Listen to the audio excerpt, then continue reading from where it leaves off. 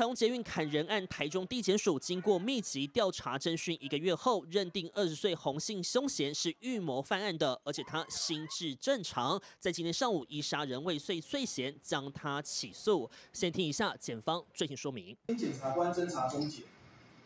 任洪庆被告涉犯刑法之杀人未遂、恐吓公众危害安全等罪行明确，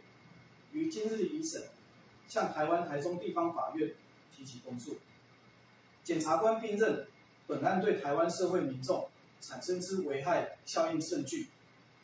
向法院请求从重量刑。而警方呢，在侦办过程中，包括向法院申请搜索票，指挥警方南下高雄住处搜索，也向高雄市卫生局调阅洪姓凶嫌过去的就诊记录。警方查出呢，洪姓凶嫌因为家庭和求学的因素，对社会产生极度的不满，在今年四月呢，就预谋要杀人，目的就是要让全国民众看到自己。而原本呢，预谋是要在五月二十号在台中捷运站持刀杀人，但想到呢，二十一号就是北捷杀人案发生十周年。因此才会改在二十一号来行凶。而在复讯时呢，洪姓凶嫌面对检察官的问题一问一答，并没有答非所问，显然呢精神状况没有异常。综合考量后，认定他心智正常，因此呢向法院来声押，而非申请暂时安置。今天呢宣布终结以杀人未遂、伤害、恐吓公众及恐吓危害等罪嫌，将他起诉。